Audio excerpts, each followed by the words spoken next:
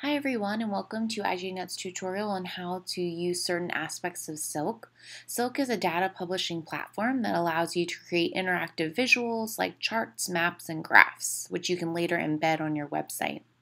You can also create your own website using the service. It's free, but they do have a premium option, which allows you to customize your URL if you choose to make a website.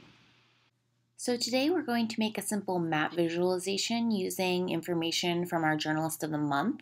Each journalist of the month is from a specific place, they have a name obviously, and they're going to be giving us advice today. So first, after you sign up for Silk, you'll come to your dashboard. Now our dashboard is a little bit full, but yours will be empty, and you'll come down here to create a new Silk. So here it will ask you to name your Silk. One thing to keep in mind is that whatever the name of your silk might be will also be the URL that will appear up here in your uh, search bar. So we're going to name this Advice from IJNet's Journalists of the Month. And as you can see, like I said, it will create a URL. So we'll click here on Create a New Silk you'll see that it prompts you to import a spreadsheet. It can be an Excel file or it can be from a Google Sheet. So we've already created our spreadsheet over here. It's a Google Sheet. As you can see, each column has a category at the top. So name, photo, home base, and advice. Now this is just an example, but if I want my silk to be in a specific order, I would include a column that says number. Then if I wanted Pat to be first, I would number him one. If I wanted Beatrice to be third, I would number her three. But today we don't want to use this, so we're just going to delete this column. Okay, so you're going to come over here to share and make sure that anyone with the link can edit. You'll copy that link and bring it back over to your dashboard and paste it right where it says to You'll see that it's uploading the information now. And then every piece of information that you've uploaded from your spreadsheet will appear. You'll see that here where it says photo, it's just a URL, but we can change this to use as image.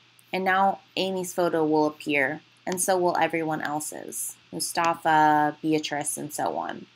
Now you'll also notice that here under advice, it shows up as what we call a fact on Silk but I can change it to a paragraph if I want to change the text or add a hyperlink or italicize the way that it appears. But right now we're going to leave it as a fact and we're going to come up here to start import. It will import everything from your spreadsheet and we'll click on show imported pages. So now we can see the photo of each person, we can see their names, the piece of advice, and the home base. Uh, if I don't want it to be Amy, Asha, Beatrice, I have to come up here to click on More. And under More, you can press Sort By. Now, it's on Advice from Journalists of the Month, and this automatically sorted it by their first names alphabetically. But I could sort it by advice, and then it will also do the advice alphabetically. I could do it by home base, and as you guessed, it could do it by the home base alphabetically. Now this is where, like I had said before, if you wanted it to be in a specific order, you would want to add that column in your spreadsheet. Right here, I would add number, and like I said, add one for Pat, two for Nicole, and so on. We didn't do that this time.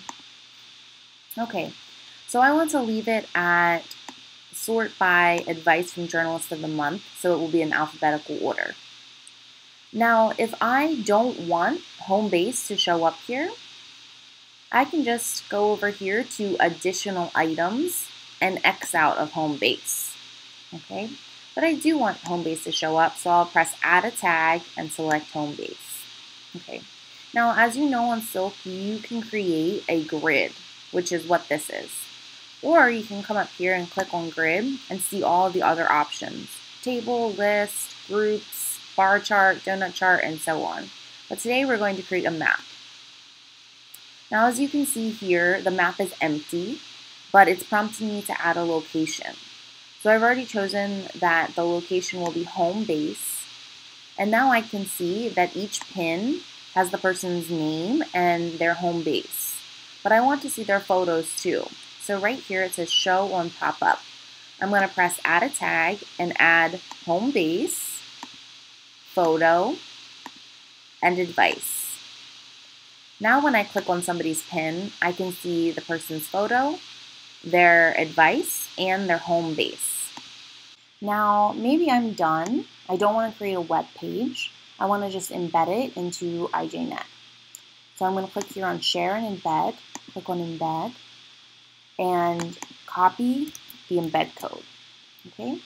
Now on your website, there should be an option to embed onto the site, and we've already done that. So as you can see here is our visualization that we've created through Silk. I can click on Mustafa and see his picture, see where his advice was, see his home base, just like I could over here on Silk.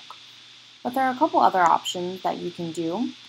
You can save the visualization to the home page. And this means that you're basically creating your own website using this Silk visualization. As you can see, you can also add additional things like text, image, video, audio, uh, a Twitter profile, a file, or an additional video. You can do this all throughout and create an overall website that people can visit. Okay, but all we're doing today is just creating a simple map that you can use to place any data points that you'd like. So the nice thing about Silk is that you can add to your visualization even after you've created it. So as you know on IJNet, every month we have a different journalist of the month, and I want to add the new one. So I'm going to come over here, and this month it was Wandiswa, and I'm going to copy her name. And then down here on Silk, under Add More Pages, I'll add her page. Now I want to add the same information I did for everybody else for Wandiswa. So I'll click on her page and you can see that you can edit it. Uh, earlier I mentioned that you can upload photos from your computer and that's what we're going to do right now. I'm going to click here, choose my photo or drop in the image. I'll type South Africa under her home base. Now I want to paste the advice back into Wandiswa's page, like this.